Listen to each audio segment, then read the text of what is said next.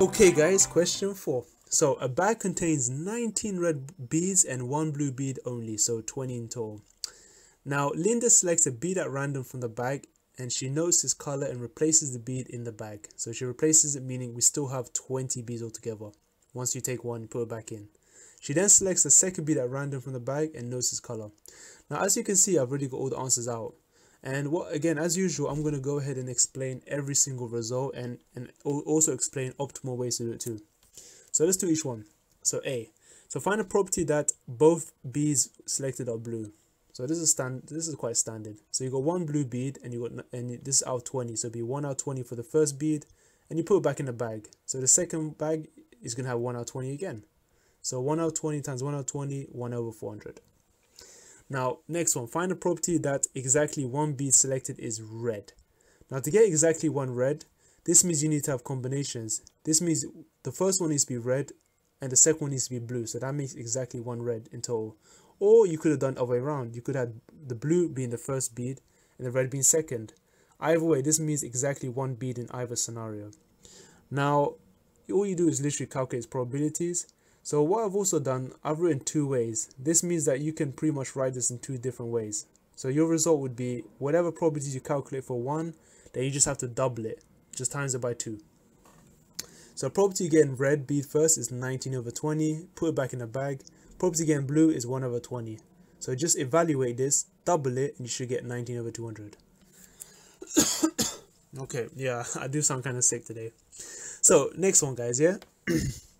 So in another bag, there are 9 beads. So 4 of which are green and the rest are yellow. So I just put 5 on top. So got 4 green and 5 yellow. Now according to this one, Linda selects 3 beads from this bag at random without replacement. So here is the key buzzword. Without replacement means is that when she takes out the bead, she's not going to put it back in the bag. So so from 9, the next one will be out of 8, then out of 7 and 6 and so on. So you're going to have less beads every time. So let's let's think about this. C. So find the probability that two of these beads are yellow and one is green. So you need two yellows and one green. So if we look over here, we need to write down combinations.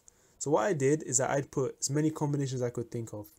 So you can have, you can firstly take out two yellows and a green, or you could take out yellow, green, and yellow, or green, yellow, yellow. Either way, if you calculate probabilities for all of these, you're going to get the same combination of values. So what I do is just I calculate for one of them, so, so for example, getting yellow first would be 5 out of 9. Getting yellow again would be 4 left out of 8 left now. And again, green, we got 7 altogether. And 4 of them are green, so 4 sevens.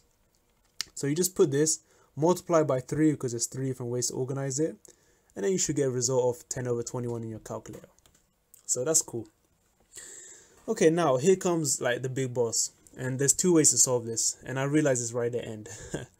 So Linda replaces the three bees and then selects another four at random without replacement. So what this means is that she the three bees she took from part C, she puts it back in the bag.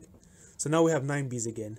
So now we're going to find the probability of picking four at random without replacement. So same process.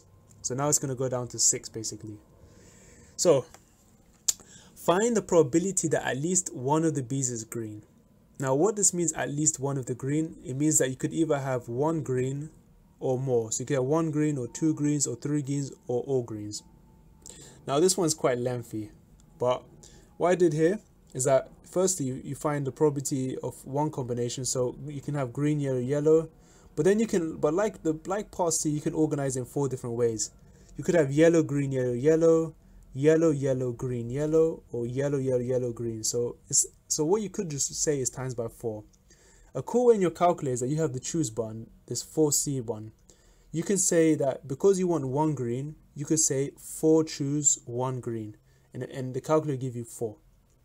In your calculator, and then yeah, when you do that, you can just list down the probabilities. So again, the green would be 4 knives, yellow 4 eights because you got 5 yellows, and it's going down to 8.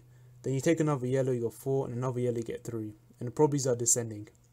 Now for the second one, Again, you want two greens and you want three greens. So to get two greens, to find all the combinations, put in your calculator, you got four different options and you just want to choose two greens. So four choose two should give us six.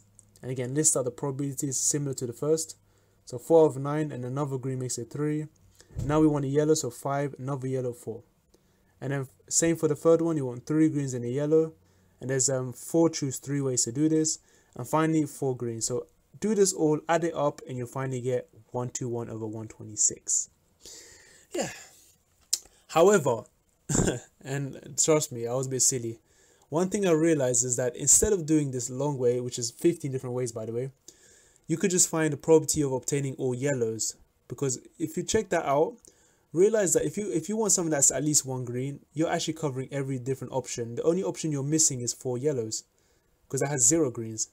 So if you calculate the probability of four yellows using this method, then you could just simply 1 minus this result and this will give you the same answer because essentially this is the only probability that was not included. So if you 1 minus this, you get all of these. So yeah. so sorry I didn't tell you guys that earlier, but that is another way to calculate this for future reference. I usually stick to the classic method, but totally up to you. And that's it.